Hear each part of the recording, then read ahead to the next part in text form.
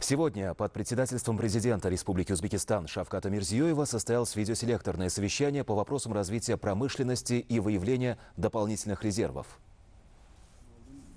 Прежде чем перейти к рассмотрению основного вопроса, глава государства коснулся мер по недопущению негативных последствий понижения зимних температур.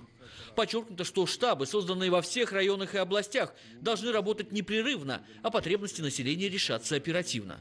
Отмечено, что необходимо детально контролировать обеспечение объектов социальной сферы энергией и теплом.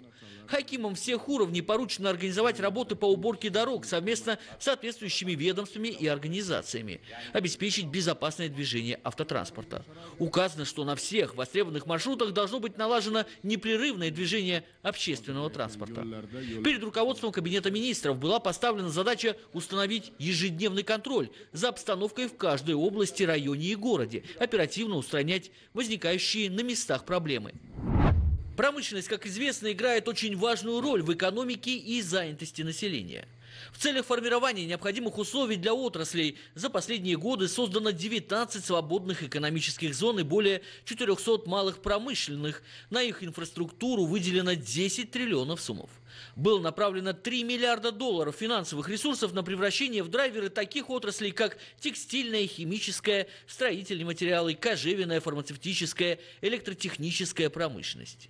Для обеспечения индустриального сектора сырьем втрое увеличены геолого-разведочные работы, открыто более 600 новых месторождений.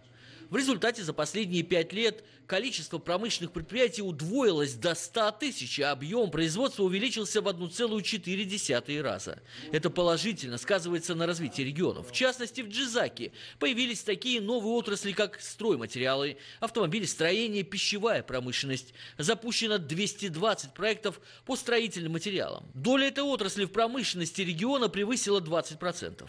Реализовано 19 крупных проектов по металлообработке в Самаркандской, Сырдаринской, Наманганской и других областях.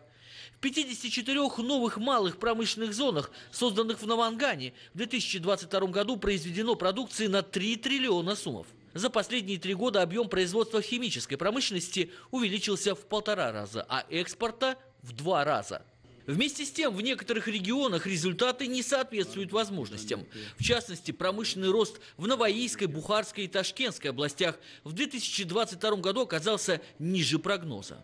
В республике Каркалпакстан, Джизакской, Кашкадаринской, Сурхандаринской, Ферганской и Хорезмской областях уровень переработки пряжи остается низким. В Намангане, Самарканде и Наваи потенциал в производстве продуктов питания, кожевенно-обувной продукции и мебели используется недостаточно.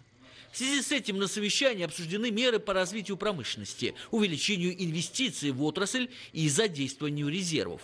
Глава государства подчеркнул, что промышленности будут предоставлены новые возможности и дополнительные финансовые ресурсы. Прежде всего будут пересмотрены банковские нормативы и выделены дополнительные ресурсы коммерческим банкам в размере 55 триллионов суммов для кредитования предприятий. Это означает дополнительный источник инвестиций в среднем на 20 миллионов долларов каждому району. Вторая возможность. В 2023 году на инфраструктуру промышленных зон и крупные инвестиционные проекты будет направлено 1,7 триллиона суммов. Также будет расширена территория свободных экономических зон Гиждуван и Кокант. В Каркалпакстане и Кашкадаре будут созданы филиалы свободной экономической зоны Ургут. В-третьих, Начиная с 2023 года 60 районам 4 и 5 категории, экономическое развитие которых отстает, будет предоставлено 27 видов налоговых льгот, субсидий и преференций. Четвертое. Преференции производителям ковров, домашнего текстиля, кожи и ювелирных изделий. Так, в 2023 году на текстильные проекты будет выделено дополнительно 300 миллионов долларов. Таможенные льготы по более чем 200 видам импортного сырья для кожевенно-обувной промышленности будут продлены на 3 года. Ювелиры получат возможность закупать сырье со скидкой, а также налоговые, таможенные и банковские льготы. Президент подчеркнул необходимость широкого информирования населения и предпринимателей об этих возможностях и увеличения количества проектов на местах. Отмечено, что в промзонах будет запущено 1264 проекта. Важной задачей обозначено обеспечение запуска шестого гидрометаллургического завода в Новоийской области и третьей меднообогатительной фабрики в Алмалыке, современного литейного цеха в Андижанской области и кластера сельхозтехники в Черчаке. Перед ответственными лицами поставлены задачи по расширению производственной кооперации, реализации проектов локализации на сумму 6 миллиардов долларов, своевременному запуску около 3000 проектов, включенных в региональные инвестиционные программы. В целом указано, что в текущем году, задействовав все резервы, возможно увеличить промышленное производство на 14%. Руководители отрасли промышленности и хакимы представили свои планы и предложения по рассмотренным на совещании вопросам.